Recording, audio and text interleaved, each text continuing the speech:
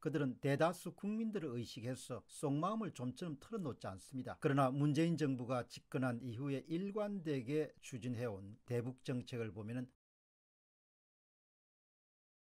안녕하십니까 공병호 TV의 공병호입니다. 요즘에는 그들의 진짜 속내는 무엇일까? 여기서 그들은 집권 세력을 이야기합니다. 그런 질문을 제 자신에게 자주 던지게 됩니다. 그러니까 겉으로 말하는 것 말고 진짜 속마음이 무엇인가가 궁금합니다. 그들은 한미 관계나 또 한미 동맹이 파탄 상태로 달려가는 것을 방치한다는 그런 인상을 갖게 됩니다. 아니면 그렇게 되면 할 수 없는 것이다 이렇게 생각한다고 봅니다. 어떻게 그들은 한일 관계를 넘어서 한미 관계가 이런 지경에 이르도록 방치할 수 있는 것일까? 그런 탄성과 또 걱정과 이런 감정이 묘하게 교차합니다. 한 걸음 나아가서 한미 관계가 살얼음판을 걷는 상태에 이르게 되었음에도 불구하고 지소미아 파기를 기어이 저렇게 밀어붙이는 진짜 이유가 무엇일까? 첫 번째 질문입니다. 집권 세력의 대미관입니다. 그들의 대미관입니다. 그들은 대다수 국민들을 의식해서 속마음을 좀처럼 털어놓지 않습니다. 그러나 문재인 정부가 집권한 이후에 일관되게 추진해온 대북 정책을 보면 어떤 비용을 치르더라도 북한과의 평화 협력 관계를 구축할 수 있으면 미일 관계라든지 이런 부분들은 크게 문제가 없다. 손상이 되더라도 할 수 없다. 이런 생각을 갖고 있다고 봅니다. 그들의 생각의 기재는 수십 년 전 자신들이 젊은 날 가졌던 이상 외세 개입 없이 우리 민족끼리 우리 문제를 해결한다. 이른바 외세 배격 민족 자조 통일론이 자리 잡고 있다고 봅니다. 지소미아 파기를 끝까지 밀어붙이는 것을 보면서 그들의 속마음을 얼마든지 추측할 수 있습니다. 미국이 한반도를 떠난다 하더라도 할 수 없다. 무리하게 붙잡을 필요가 없다. 이런 생각을 갖고 있다고 저는 봅니다. 물론 그들은 겉으로 국민들의 반발을 고려해서 절대로 그런 것이 아니라고 이야기하겠지만 속마음까지 완전히 숨길 수 있다고 생각하지 않습니다. 그렇다면 미국 측의 열화 같은 반대도 불구하고 지소미아 파기를 절대로 밀어붙일 수 없기 때문입니다. 두 번째 질문입니다. 그들의 진짜 속내와 계획은 무엇인가? 머문다고 하면 할 수 없지만 미군이 나가겠다고 하면 굳이 잡을 필요가 없다. 그것이 그들의 진짜 마음이라고 봅니다. 따라서 그들은 끝까지 일반 국민들의 반발을 염두에 두기 때문에 진짜 마음을 밝히지 않을 것으로 봅니다.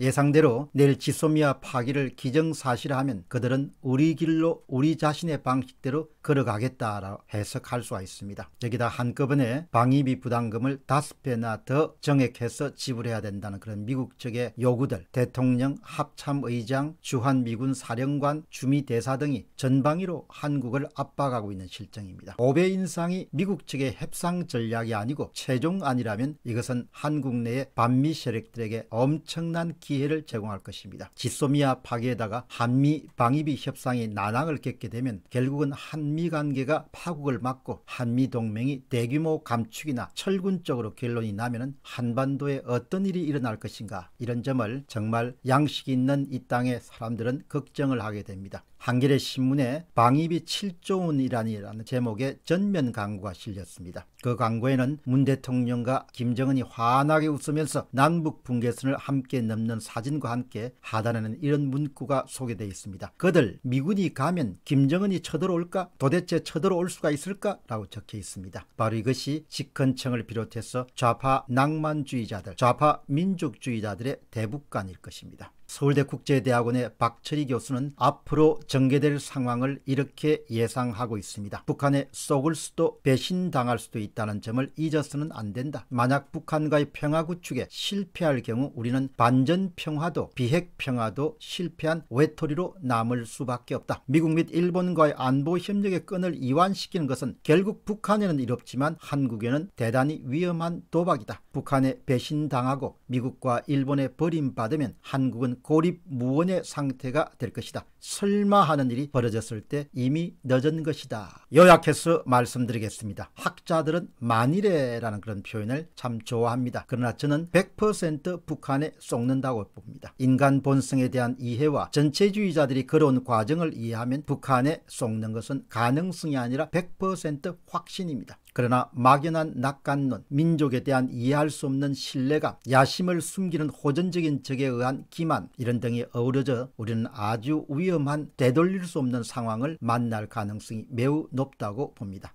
공병호 TV의 공병호였습니다. 감사합니다.